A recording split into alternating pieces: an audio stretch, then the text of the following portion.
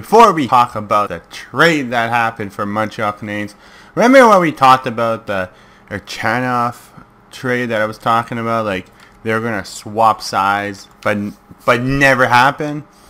So the Montreal Canadiens did the unthinkable and traded trade their prospect player away for the same player that we were I was talking about a couple days ago.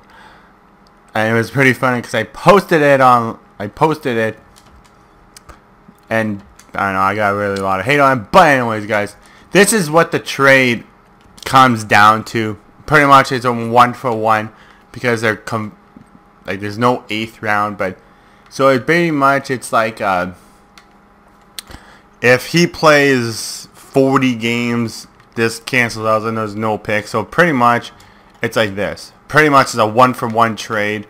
The trade, the picks, you kind of can't could cancel it out because now I think Montreal signed him to a contract. It was like a five or six year contract for five million dollars for the next I think five six years. I think six years.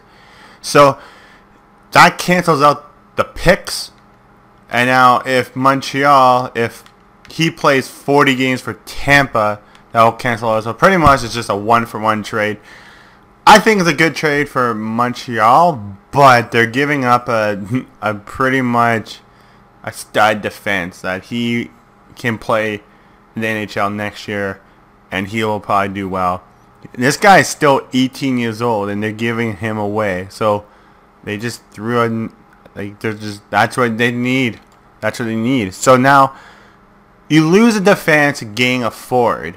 So now what is Montreal gonna do? Are they gonna gain trade another player for a defense? Or just leave it how it is.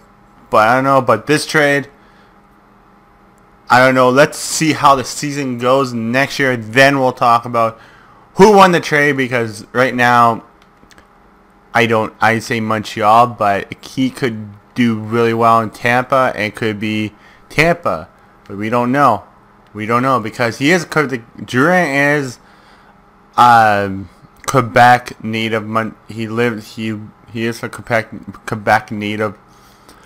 So there could be pressure on him playing in Montreal because Montreal loves their Quebec the Canadian French Canadians playing for them. So it could he could be pressure on him. He might not put up the goals he did in Tampa this year. And let's see, he like yeah, this year he probably didn't put up the goals. So guys, let me know in the comments below what you guys think about this trade because I think it could be an even trade because without the picks this is a one be one for one trade, and there, that's where it goes. So pretty much it's a one for one trade, guys. Hope you guys enjoy this, guys. Don't forget to like and subscribe. Let me know in the comments below, guys, what do you think about the trade? Because you right now, I think Montreal. It's the only two picks. One like, the picks kind of doesn't matter. It's just the players because the they're not like just picks. They're down the road if they get them So the trade, they did accept it. So there goes. Guys, I'm out, guys. Peace.